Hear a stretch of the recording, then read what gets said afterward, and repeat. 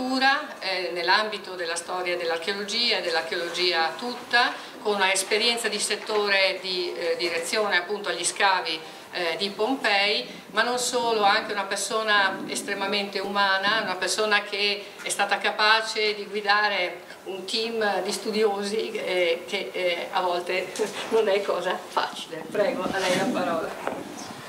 Eh, grazie, è una presentazione molto superiore alle mie qualità. Eh, la cosa che posso dire è che sono molto lieto e onorato di essere qui eh, in questa impresa eh, che appunto come si diceva prima ehm, sia pure nello spazio di due secoli ha trasformato i rapporti tra la Svizzera e la parte meridionale del nostro paese, eh, del mio paese. E, con un rapporto che mh, sia pure casuale c'è stato fin dalla fine del XVI, inizio del XVII secolo, quando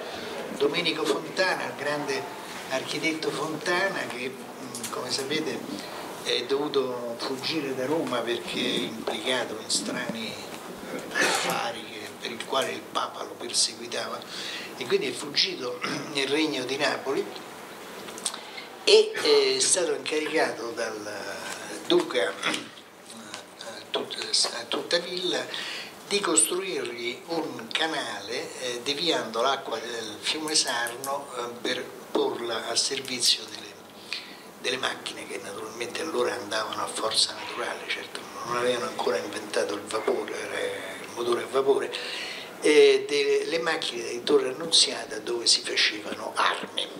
Quindi ritorniamo a questo aspetto così un po', un po truce, ecco, diciamo così. E Domenico Fontana scavando la, il condotto del, del, canale, si imbatté eh, nelle antichità eh, di cosa di epoca romana, trovò delle iscrizioni latine, altri oggetti e via dicendo. Ma di, queste, eh, di questi ritrovamenti si è persa quasi completamente la memoria, cioè si sono persi gli oggetti stessi, è rimasto solamente il testo di,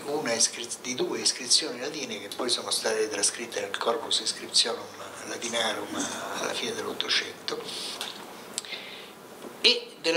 di, questa, di questa scoperta non si è più parlato. Allora la casualità appunto che diceva la signora Ostanna Cavadini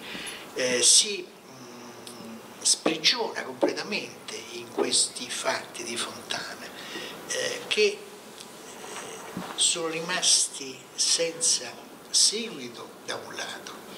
ma che dall'altro se li vediamo all'interno di una diacronia lunga eh, di uno sviluppo positivo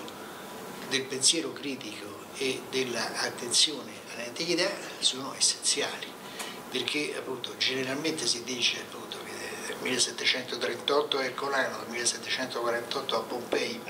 sono cominciati gli scavi, ma la conoscenza dell'antica città era cominciata ben più di un secolo prima. Questo secolo di intervallo tra la casualità di Fontana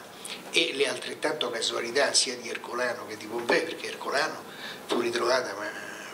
Parsolo ne sa meglio di me, eh, scavando un pozzo, quindi proprio senza interesse archeologico e Pompei perché eh, arando un campo che si sprofondò e il bue che tirava l'aratro, quindi più casuale di così non si può. E dicevo, questo secolo abbondante che c'è stato di mezzo è quello che ha permesso uno sviluppo dell'attenzione critica, della conoscenza, della critica della storia, della critica eh, dei ritrovamenti archeologici che ci ha portato poi allo stato attuale, allo stato attuale che naturalmente sarà superato in meglio dai nostri successori. Eh, noi però siamo contenti di quello che sappiamo, ci accontentiamo diciamo, di quello che sappiamo e speriamo che anche voi possiate ricevere una buona impressione dallo sforzo che è stato fatto di mettere insieme questa documentazione grafica.